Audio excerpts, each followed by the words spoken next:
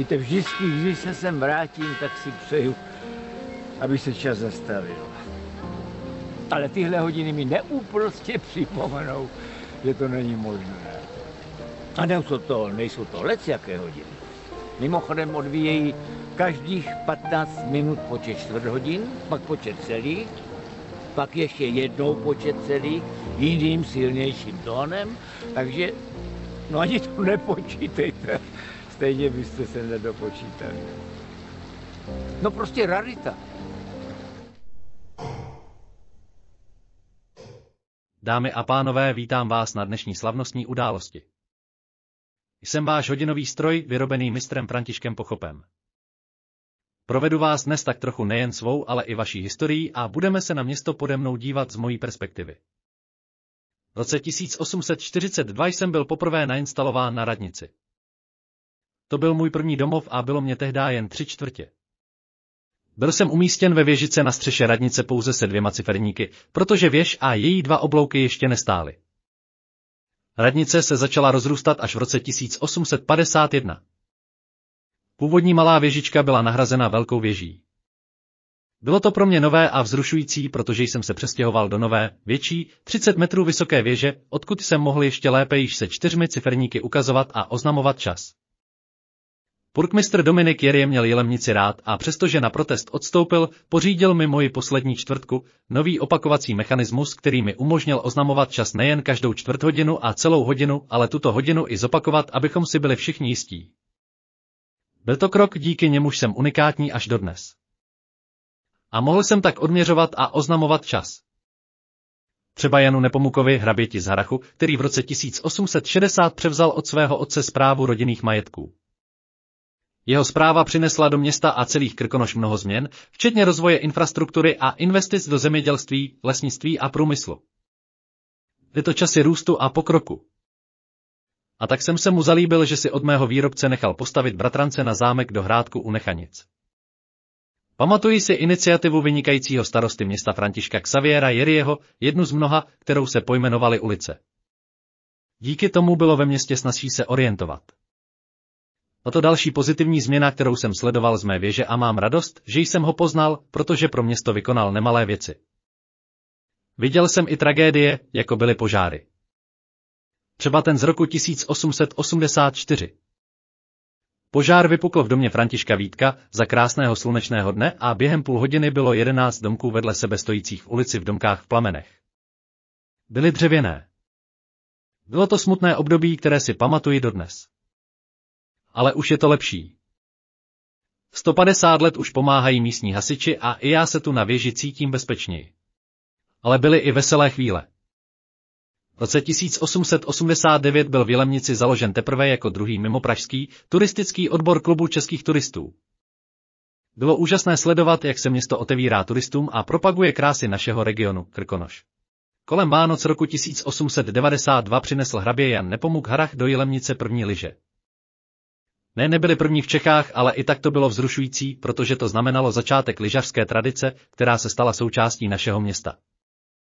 Vůbec první lyžařský spolek, Český krkonožský spolek z Jelemnice, tak oficiálně mohl vzniknout výnosem CK místodržitelství již v roce 1895. A ve stejném roce jsem na Kozinci viděl i první regulární české lyžařské závody.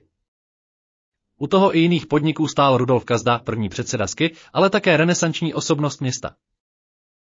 I jemu vděčíme za to, že to byla velká událost a já jsem s hrdostí sledoval, jak se Jilemnice stává centrem českého lyžování.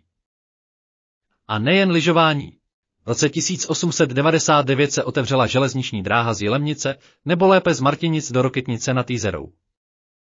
Výdal jsem ten kouř z lokálky už z dálky. V roce 1909, nebo to bylo v roce 1911, teď si tedy nedokážu úplně vzpomenout, se pode mnou na náměstí prvně objevila sněhová socha. Jistě, že krakonoše, ale už jsem zažil i výjimky. Když trochu předeženu, tak to byl Jan Buchár, který si ji právem zasloužil, a když předeženu trochu více, i hrabě Jan již byl ze sněhu po právu vytesán. Z Bátovy rokle spod Žalého, kam mám výborný rozlet, od roku 1912 teče skvělá voda, která se pak z Kozince rozlévá i k vám domů. I tenkrát bylo město celé rozkopané, když se pokládalo potrubí. I na lamentování došlo, ale to už je asi lidská vlastnost. Je to také časy smutku, když pod Krkonošem blízko Lapské boudy zahynuli Bohumil Hanč a Václav Vrbata. Vydával jsem je tu. Vydával jsem ale i hodně nových žáčků ve škole, tedy nově zřízeném reálném gymnáziu s českou vyučovací řečí. A taky jsem viděl, když se poprvé rozářily elektrické žárovky ve městě. Jojo, to byl rok 1913. Ale jak už to bývá, vše jde ve vlnách a tak velká válka mě stála a nejen mě spoustu útrap. Kostel přišel o zvony a i já jsem přišel třeba v roce 1916 o dva své cymbály. Ten třetí od pana Jerieho se sundat nepodařilo, ten mám dodnes, ale dva, které nejdříve nahradila kolejnice. My jilemniští mohli nechat odlít ve zvonárně v Lomnici až za sedm let. Velkou válku vystřídalo nadšení z rozpadu Rakouska-Uherska a všichni jsme se ocitli v nově vzniklém Československu. To časy změn a naděje pro nás všechny, byť jak se lidově říká, často se s vaničkou vylévalo i dítě. Doby se mění, no zvyky často zůstávají. V roce 1934, a to již pár z vás zažilo, byla otevřena nová, moderní nemocnice. Masarykova městská. Znáte ji, je na svém místě dodnes a dobře se o vaše zdraví stará. Během nacistické okupace se na mě trochu zapomnělo a taky nezapomnělo. Moje cymbály zůstaly na věži a nikdo je naštěstí neodvezl a nerozstavil. Za to jsem dostal nové skleněné ciferníky. Jeden ten z původních ještě dřevěný můžete na radnici vidět a na ty nové z roku 1941 se zrovna díváte. Od konce druhé světové války už i svítí, ale to vy dobře víte. Ke konci války jsem taky viděl velkou odvahu, kterou místní projevili a již tři. Větna vstoupili do ozbrojeného odporu proti okupantům. A že jich tu bylo třeba v SS Lazaretu v nemocnici nebo na nedaleké celnici v Hrabačově. Také to někteří, než přijela vojska rudé armády, zaplatili životem. Politické změny v roce 1948 přinesly nástup komunistické vlády, což ovlivnilo celé město, tedy fungování místní a veřejné zprávy včetně mnoha osudů jednotlivců. Některé věci byly k pláči, přesto jsme se museli radovat. Pamatujete také? Ale podařily se i dobré věci. Jindřich Ambrož, další z mnoha velkých jilemnických mužů, zařídil v roce 1951 přesun sbírek muzea do budovy zámku. A tam je dodnes.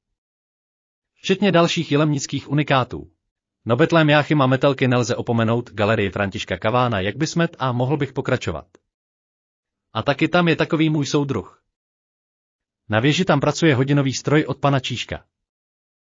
Stejně je pěkné pozorovat, jak se muzeum v budově zámku Hrabat Harachu rozvíjí. A poznal jsem i ty, kterým za to město vděčí. Děkuji, pánové i dámy.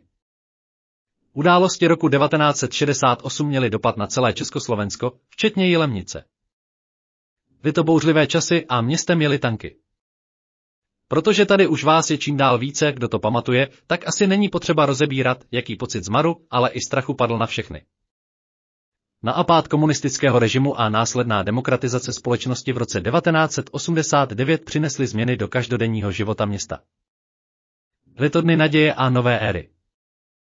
Pro celou zemi i pro Jilemnici.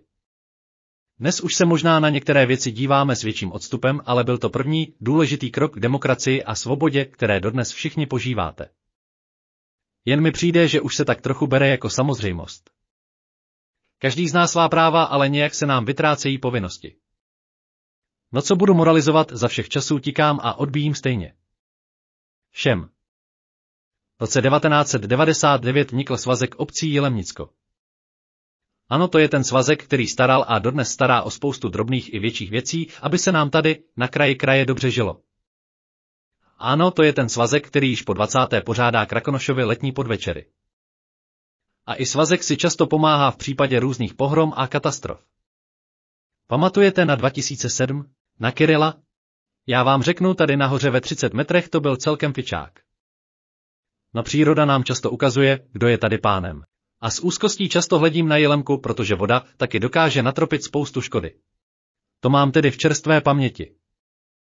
Návrat starých časů to by asi nebyl správný nadpis, protože za tu dobu, co se dívám dolů na město, vidím spoustu úsilí a práce, která se zde udělala. Od vybudování infrastruktury, jako je plynofikace, kanalizace a obnova vodovodu, přes drobné i větší projekty, které zřejmě také pomohly k zisku celorepublikového titulu Historické město roku 2012. Byl dobrý rok. I naše rozhlednu na žalém se podařilo opravit. Byl jsem na to velmi hrdý a stále jsem, protože to ukázalo, jak jste si vážili a vážíte nejen své historie a tradic. A rozvíjení těchto tradic se ukázalo i v roce 2014, kdy se naši jilemničtí olympionici vrátili ze Soči. Byla to velká událost a oslava sportovního úspěchu i našeho města.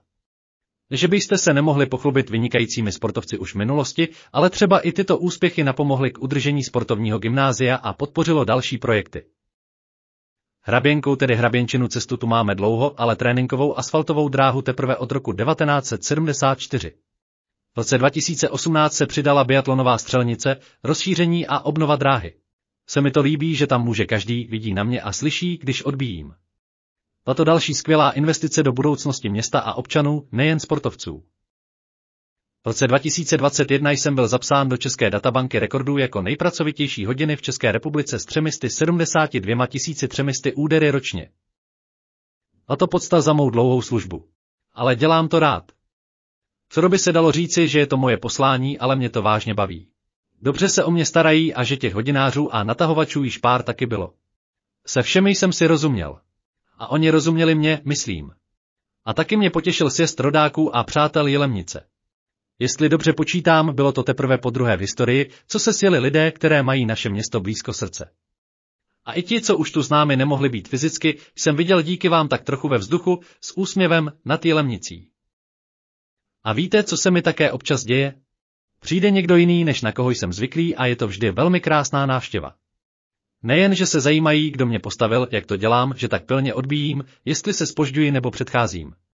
Spoustu dotazů mají. A líbí se mi, když občas někdo z nich vezme kliku do ruky a vytáhne mi závaží. To pak jdu celý den jen díky jejich zájmu. Se mi často radostí i zachvěje kivadlo. A 4. července 2024 to bylo přesně 170 let od mého první spuštění v roce 1854. Sice už si nepamatují, kdo první šťouchnul do kivadla, jestli to byl pan Dominik Jerie, nebo někdo jiný, ale jsem moc rád, že se tak stalo. A jsem moc rád, že jsem zůstal pořád stejný. Jasně párkrát už jsem potřeboval pomoc, ale vždycky se mi ji dostalo. Odborné a s láskou. A tak to třeba vyjde, když za mě podali žádost o zápis do Guinnessovy knihy rekordů. Je to další milník v mojí, ale věřím i historii města.